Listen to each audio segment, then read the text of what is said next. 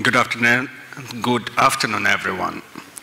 And uh, today we'll talk about several topics, namely, what is the, let's say, world balance of steel, how we look at it going forward, what's our take on the Russian market, and a few comments about our Turkish asset here, MMK Metallurgy.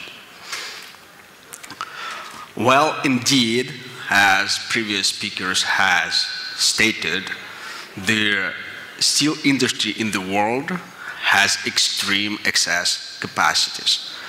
And in fact, this situation to persist several years going forward, and probably it will stay even longer, because it's dependent on how fast the excess capacities are being closed and eliminated, uh, what uh, the perspective for some markets as India and Africa to grow in demand and for Chinese to sustain achieved level of consumption of steel. Therefore, to state the situation, there are extreme excess capacities in the world. However, looking at the Russian market, um, we know that our producers, the big three of Russian flat producers as Severstal, NLMK, and MMK, they all enjoy competitive cost advantage. Therefore, these players are to stay in the industry even with these excess capacities worldwide. What's happening, the situation that we are looking at, is that so far, yet looking small on the chart, but actually huge in real life, the amount of exports from China. Actually, we think that a year or two going forward, this number is to exceed 100 million tons every year being exported from China. Probably uh, the number will be close to 150 million tons, 150 million tons every year. That's almost 3 million tons every week being exported out of China. And that has to be consumed somewhere. When we look into the dynamics of exports, the global trade is growing and there is still a limit to how big it can be. Americans, they are introducing limitations. Not every country is growing its consumption, therefore there's a limit to growth. And it's already happened. Looking at Russian situation, on the left chart, you see the situation developing from 2000 to 2015, and internally, domestically, Russian steel consumption grew by 80% over this time period. That's a lot. And looking at the import situation in Russia, there's always been, there always been imports in Russia of some kinds of products previously high value added, and nowadays there are only three major groups of products that could be imported in Russia still. In all other situations, Russia is net exporter of steel. So what do we import? We import polymer coated, galvanized steel, and tin plate. That's it. Uh, the amount of potential imports is uh, varying between half a million and million tons. And that's the imbalance Russia has in imports. What's going to happen that all, with all announcements that took place in Russia, these imports are expected to cease in the near future. Namely, with hot galvanizing, the three majors, MMK, NLMK, and Severstal, announced new projects with capacities ranging from 350 to 400,000 uh, tons a year. So adding them together, that's a million. So there's a lot potential for new capacities installation in Russia in two or three years from now, because these major three has announced that in 2017 and 2018, there would be ramp up in those capacities. They're being contracted and uh, constructed at the moment as we speak. There are also announcements about polymer-coated lines being installed in Russia. Therefore, these two segments, within two or three years, will have excess capacities in Russia, eliminating chances for imports of this product line to come into Russia. There are also ambitious uh, plans for BOEF and EAF installations in Russia, but those just generally increase the total amount of steel produced in Russia, and Russia is a net exporter of steel. Uh, to sum up, this slide shows that in uh, product categories, which installations uh, has been outlined on the previous chart, Russia will turn in several years going forward in absolute total net exporter in almost any category of products you can imagine. But what happens to Russia itself? The country is going to, through a relatively severe crisis with the GDP decrease this year around 4.5 and 5 percent. That's a lot. And this decrease in GDP naturally converts in a substantial decrease in total consumption of steel in Russia.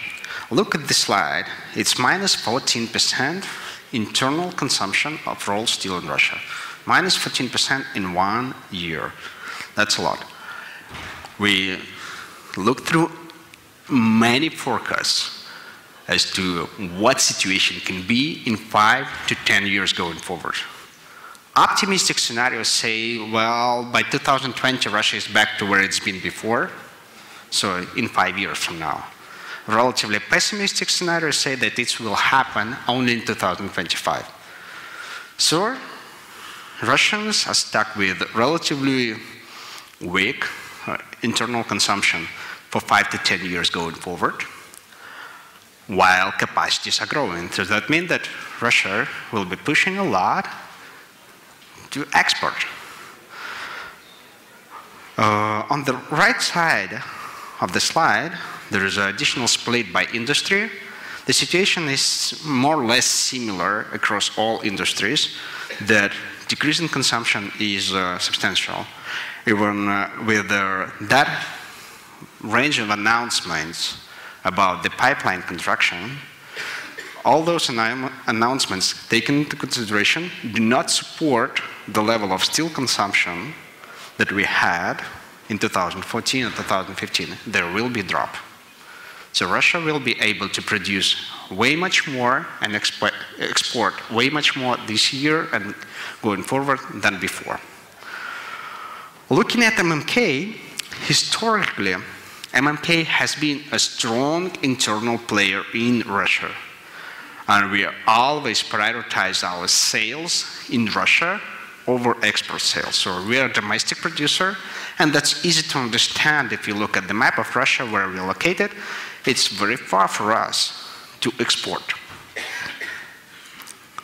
In terms of, let's say, uh, monetary explanation, we have a transport disadvantage to our competitors, NLMK and Severstal, for exports in a range of uh, 20 to 25 dollars per ton. Therefore, for us, it's instead not a disadvantage to export, but in other words said, it's an advantage to sell in the domestic market. Because in the domestic market, we have, let's say, so-called a home region with a range of 1,000 kilometers where we are the major player. That's where we stay, and we want to stay. If you look at the split of sales going forward, a third is being exported. But in fact, one half of that third is being exported to CIS countries, namely Kazakhstan. And Kazakhstan for us is a home market. Therefore, going forward, our true, if I may call it so, our true exports are only expected to be one-sixth of the total volume. So that means that we are ma majorly and namely a domestic player in Russia, and we plan to, plan to stay so.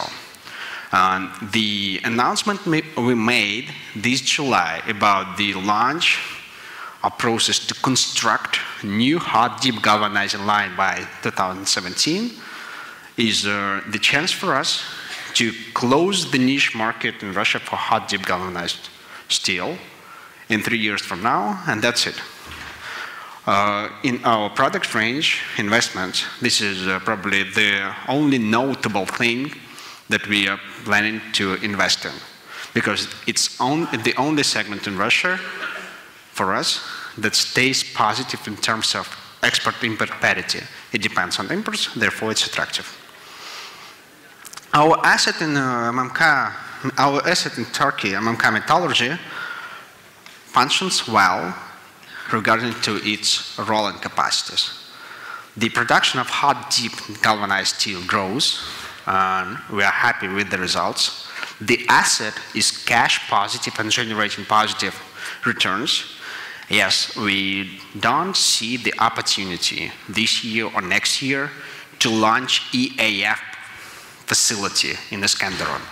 But our rolling mills, our hot dip galvanizing facilities working just fine.